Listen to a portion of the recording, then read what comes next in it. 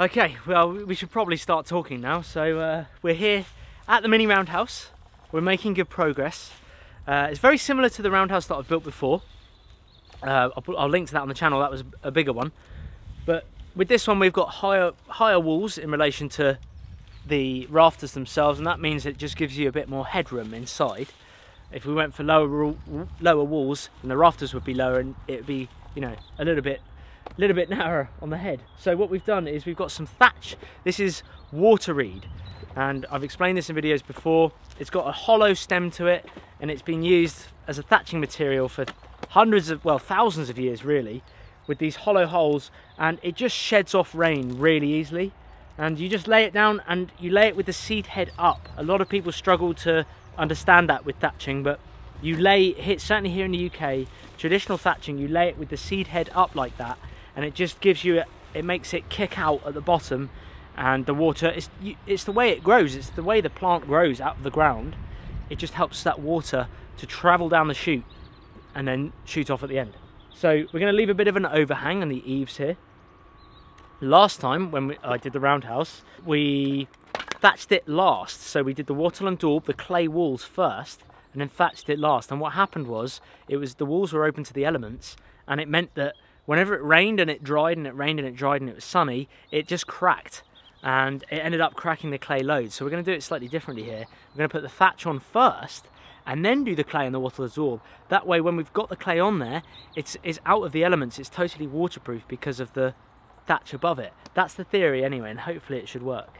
So we're going to lay this thatch on in different layers now, spread it out, tie it down with some liggers. We're not going to do it with spars, which is the twisted hazel spikes that I've used before we are going to do it with just cordage, some bank line and just tie it down. So this is the hazel, we're going to use this as liggers, which is a piece of essentially a stick to pin the thatch down to the rafters and the battens themselves. So yeah, thanks for tuning in and um, let's crack on. You'll have water reed growing over in your bottom. Right there, yeah, under. And then it's going to be really thick, so let's cut it early. So it'll snap this stick. Uh, don't put on any more there, you'll snap it. You've got the rod to cut it, yeah. Get rid of it. It's going to absolutely do the thing. It's got to overhang the wall.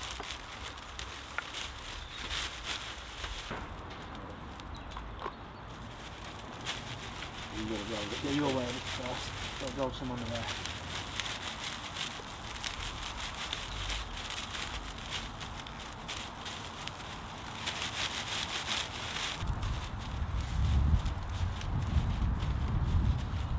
So we've made progress on the roof. We've done the first layer of thatch. Hopefully you can see that. I'll show you a bit closer in a minute.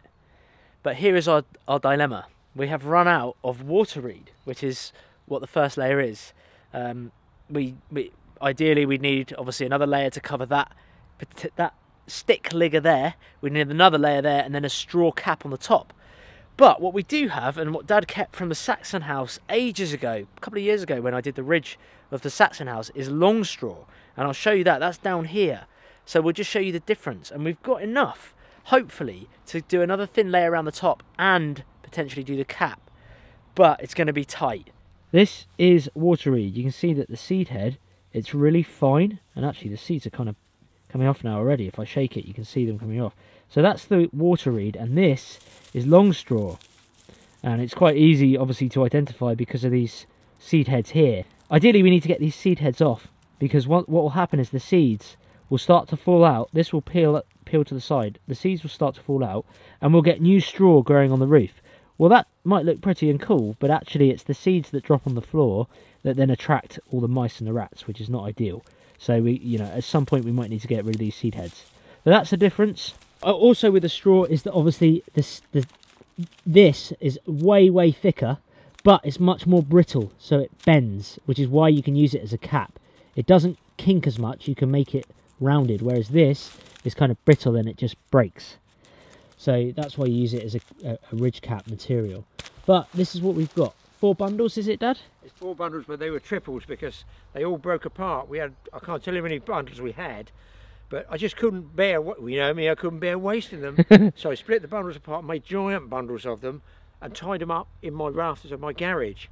So we thought we only had four left, excuse me, but now we look, they're double or triple size. So we're hoping we could just about get away with it. I think we can. So as you can see here, this is what we did with the, you'll see it in there, but there's essentially a, let me make that brighter. There's a triangle for the entrance that we made, a little triangle entrance and a ridge, and that's what's sitting up there now. And this is as far as we've got. We use no spars for this, we just use cordage and these hazel liggers with no spars. So we're doing it slightly differently than traditionally done. Well, quite a bit differently. But what we need to do now is layer up and then keep going up towards the ridge and that's when we can then make a straw hopefully enough a straw cap to go on top and we'll have to trim it because it looks like it needs a bit of a haircut at the moment and uh, but it's looking good and the cabin's just sitting here in the sun looking quite nice dad's put some flowers outside from the looks of it we've got daffodils petunias dad looks like a petunia Yeah, they're F1s. They're, Yeah. they're with the F1 through the winter. They've not been great through the winter, but now we've got them out in the sun. A little bit of warm weather. They've uh, reheaded. They've got a head on them and they've coming out. And the daffodils, new bulbs this year. It's looking good. Look at Beds the, in there. look at, yeah. We'll, we'll have a look in a bit. We showed them in the last video, but that is that is the cabin, and obviously you've got this nice sunny view. So we've got the we, yeah we got the cabin there, and then this is where the roundhouse is. So we've got some trimming to do in a minute. We're just covering that layer. Right now wrap that round. There we go. Right. Now you want a needle. Now another piece, same same facts. You got a needle now? No, no, no, we do another one more layer. Thinner layer, half that load actually, and then we'll tie off.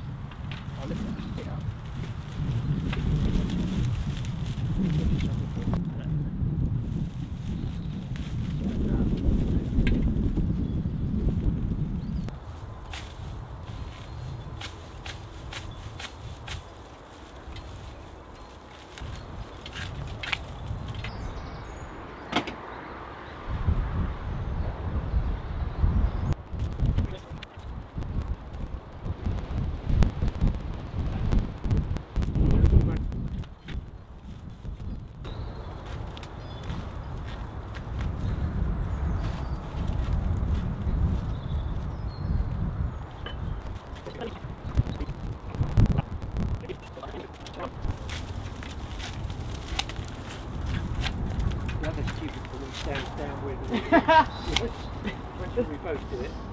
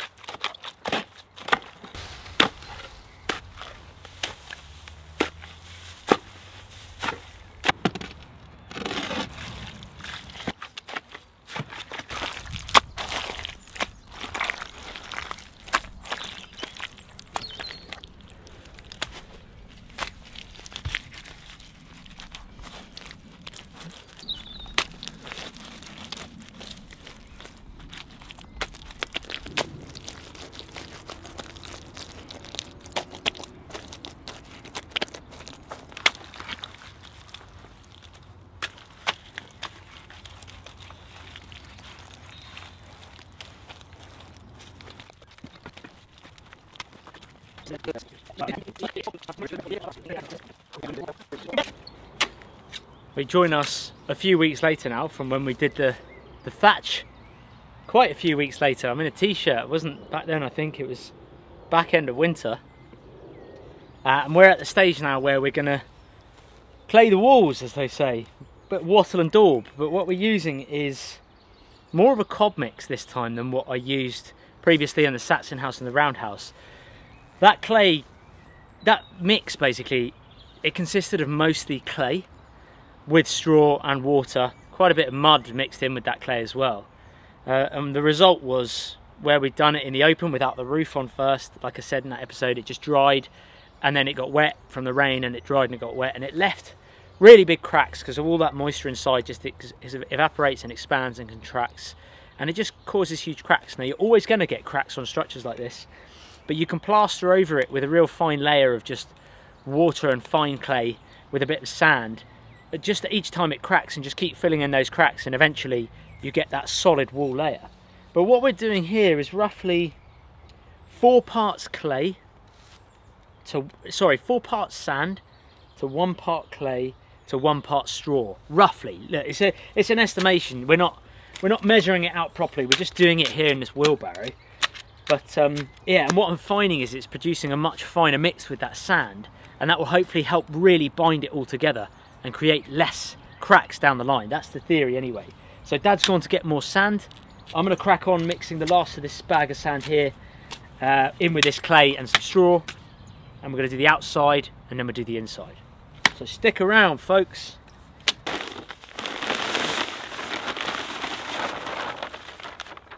This is the sand. So it's building sand so it's nice and coarse.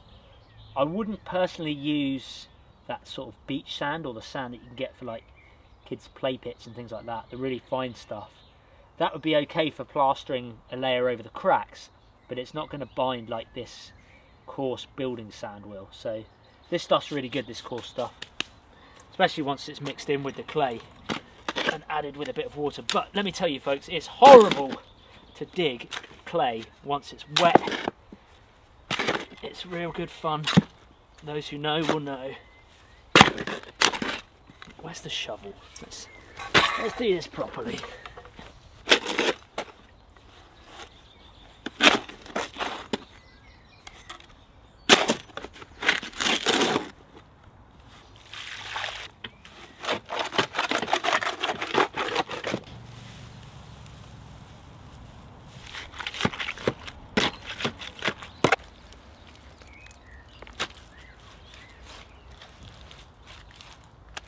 Slap it in, it just wedges in between the gaps of the hazel, the sticks, the woven sticks. And it just means that it can sit on itself and create that strong foundation. And really you want to build it up from the bottom and work up so that it has a solid foundation to dry on and it's all supported. And then you can smooth it off afterwards with the, I've got gloves on today, but with the palm of your hand, normally I don't use the gloves, but because I'm recording, I have to keep going back to the camera. It's easy just having gloves to then take them off and move the camera around. It's great to work with though once it's done. Traditionally, thousands of years ago, they would have used animal dung, and they still do to this day. Horse manure, cow manure, and that gives it, that is the glue. That gives it a really good binding ability. And that is the very traditional kind of technique where they wouldn't have had the sand so much, they would have used the dung for that. But because we've got sand, we don't need to.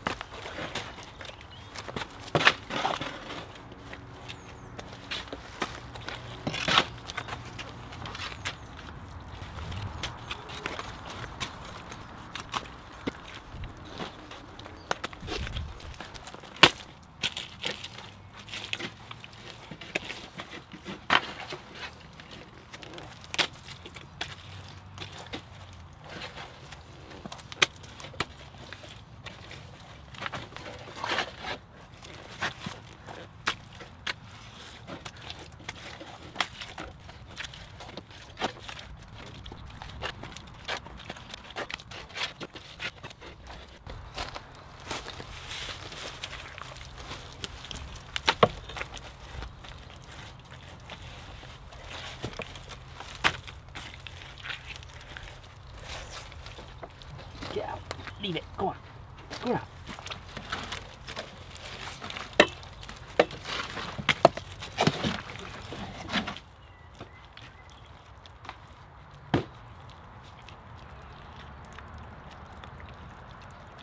The clay is on well. You can see it's gone on much smoother than clay I've done in the past with the addition of that sand.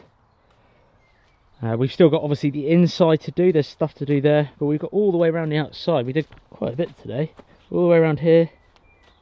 We've just got a few panels to do up there and then the inside. Thatching is good, I'm pleased with that. We're going to leave it staggered and not blend it in because it's something different. I like the look of it. Um, and it's, yeah, normally I would blend it in with a drifter, but I think that's quite nice as it is. Dad's finishing one of the last mixes of today. It's the last mix of the day, it is Yeah. indeed. And I'll be applying, applying to Amazon for some new elbows and wrists.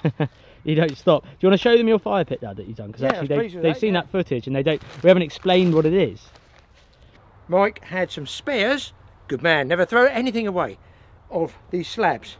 So I thought, as you saw in that, I've, I've, I've got them concreted in there as best I can, got my steel plate there, and the steel plate is bigger, it's out here somewhere, all the way round, you know, for heat dissipation, but listen, it's not like a forest, it's in my back garden.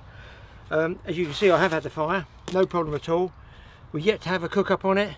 I'll put this one down here for pots and pans. Originally, we put this here, this space, for another build. It was, wasn't it? It Going to was- be a different shelter. Build. Then I thought, well, you think if you're doing a mini village, you're going to need a sort of communal area. So we're going to build the other side of here of the pallet uh, cabin, and sit on the veranda, have a fire here, go in there. We've the got an roundhouse. option. We can have Eve, fires for Eve's, both. Eve's totally spoiled. We're going to do a little party at some point. Um, and then she, yeah, she can come round and we can roast marshmallows on the fire Crack, a, and crack a beer. She like a beer. crack a beer, yeah. but yeah, it's great. So, and look at the backdrop. Like we've got the hut nearly done. Yeah. Fire pit area. If you want to watch any of these builds that we're doing, this is called the Mini Village series, and we're doing it for my daughter. Uh, so if you want to catch up, it's a great project for well for me to spend time with Dad, but also for you guys who want to get inspired and do things in your backyard because that's what it's about. Backyard builds is Yeah. what it's all about. back garden building and it's just all accessible. It's good fun and hopefully you're enjoying the series. It's something a little bit different. We're certainly enjoying it. And we've got a few more ideas that we're going to do here to create the village. But um, after this there'll probably be one more episode on this little roundhouse uh, and this area and then we'll be cracking on with the next one. So if you are not subscribed to dad's channel ta fishing what are you doing in life head on over We're there Fishing. head on over there, TA Fishing, look it up on YouTube. I'll put a link in the description below. Hit the subscribe button. He's near 300,000 subscribers. It'd be awesome to see him get it. Hopefully this year, but if not, really soon. And um, yeah, we'll catch you guys in the next episode.